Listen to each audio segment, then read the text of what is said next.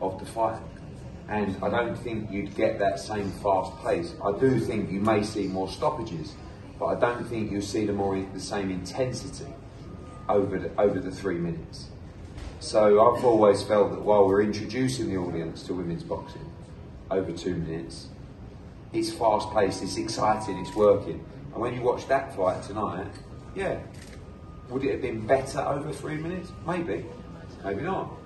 But I don't know. It, it's, it's a tough call. I do think eventually, at some point, I don't think all women's boxing should be over over three minute rounds. But you know, um, tonight you saw a fantastic product, and it was a two minute round product. But I do always think we should always look at trying to evolve in some way.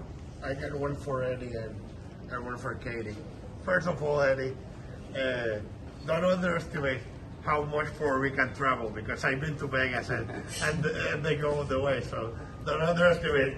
And Yeah, and- but there was about six thousand Irish yeah, tonight. and- I think you do well to have six and, and, and we're making jokes. If Amanda goes to Ireland and, and she meets Katie, the third one has to be Puerto Rico. Rico, okay. Uh, and, and, and, for, and for Katie, one of the judges even gave the the the fifth round 10-8.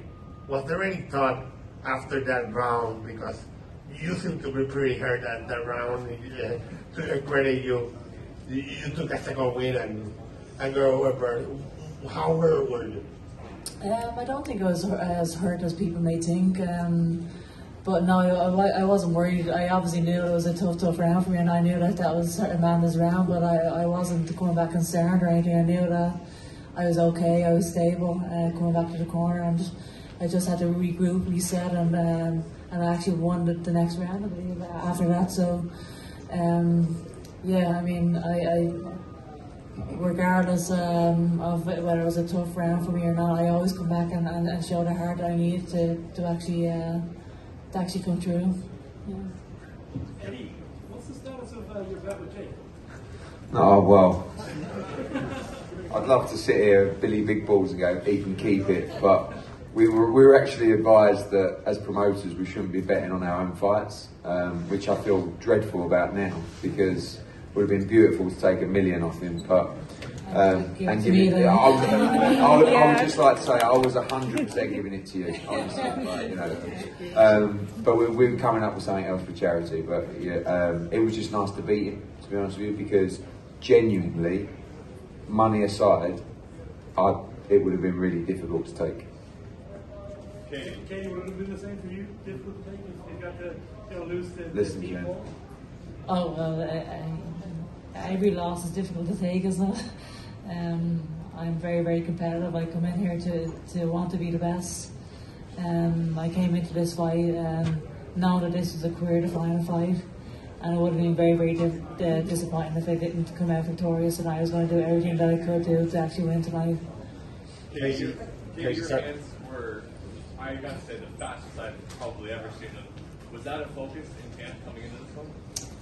Um, I just, I wouldn't say it was a fo- focus. I just have fast hands. Casey, uh, congratulations. Sorry. Sorry. hardest shots you took by any female fighter before? Because on a couple of the rounds in the center of it, your legs buckled a little bit, you kind of kept your composure and came back, as you mentioned, with very fast hands. Wrong thing to say to Kate Taylor. I don't know. Yeah, wrong thing to say. I, I think it was more of a balancing ra- rather than actually my legs buckling. Or the shots were taken to the head, were very strong shots? Yeah, she- She was definitely um, a a hard puncher for sure, but but I have a great chin, so um, uh, so yeah, I wasn't concerned going into the fight, but definitely she, she she's known to be a big puncher, isn't she? Um, so yeah. Casey, can I just ask you, you've, you've achieved, oh, very sorry, Katie, uh, congratulations. Uh, you've achieved everything you've ever